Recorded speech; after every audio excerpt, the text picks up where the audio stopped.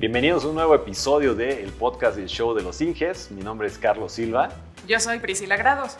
Y bueno, Pris, pues eh, te cuento, el día de hoy tenemos un programa muy interesante con unos invitados súper espectaculares.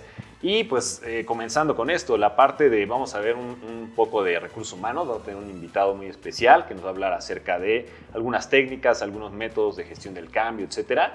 Y precisamente tocando este tema, Pris, eh, abordando ya de una vez las noticias, yéndonos directo al grano, fíjate que estábamos leyendo eh, acerca de cómo han sido los procesos de reclutamiento, cómo ha evolucionado esta parte del reclutamiento a través de los años. ¿Y sabías tú que actualmente ya incluso hay eh, empresas que te pueden o te permiten hacer esta parte de reclutamiento, pero utilizando inteligencia artificial? Órale, Charlie, esa sí no me la sabía. Eh, Suena como un capítulo de Black Mirror. Eh, sí, yo sé que suena medio este, de ese estilo, pero no, es real. En realidad lo que hacen estas empresas es que te ofrecen bases de datos con un montón de currículums que ellos ya tienen y el candidato en este caso pues también crea una especie como de videoentrevista que sube a estas plataformas y la inteligencia artificial lo que hace es que empieza a través de, obviamente, de todos los parámetros que tú ingresas en tu, currículum, de tu perfil, pero también cuando haces tu videoentrevista, pues empieza a ver tus gestos, eh, tu comunicación no verbal, todo esto, y empieza a analizar eh, tu perfil así de cañón está hoy en día, Pris, así este, te va a contratar ya una máquina en lugar de una persona, pero el futuro es hoy, entonces eh, creo que está, la verdad, está bastante padre, digo, para la parte de eficientar eh, el, este proceso, pues está padre, pero sí está cañón como cómo está sucediendo todo, ¿no crees, Pris? Sí, sí, Charlie, pero bueno, ahora Robotina, la DRH, es la que se va a encargar de hacer la selección. Oye, el Terminator este, el, ¿cómo se llama? El T2000 o T100 o cómo se llama el modelo, ser el DRH con su manita, el pulgar arriba, ¿no?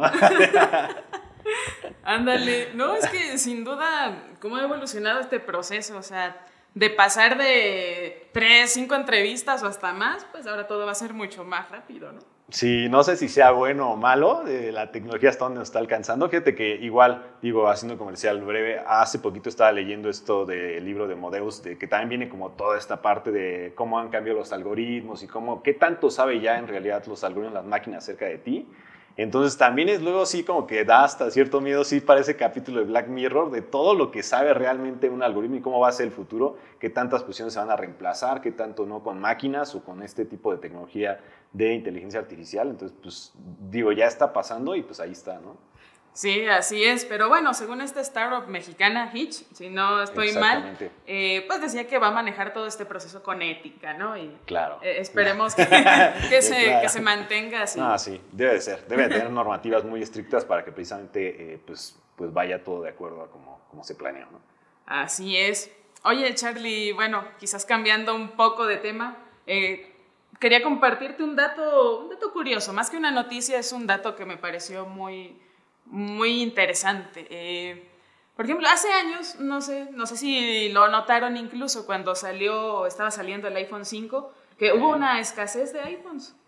Fíjate que, digo, también no es, no es que yo sea de los que me voy a formar en tiendas de campaña, pero en las tiendas la verdad es que no, no, no a lo mejor no, no se notó. Pero platícame por qué, por qué hubo escasez, a qué se debió. No, eso la verdad es que estuvo muy loco y va estrechamente relacionado con el tema que veremos más tarde.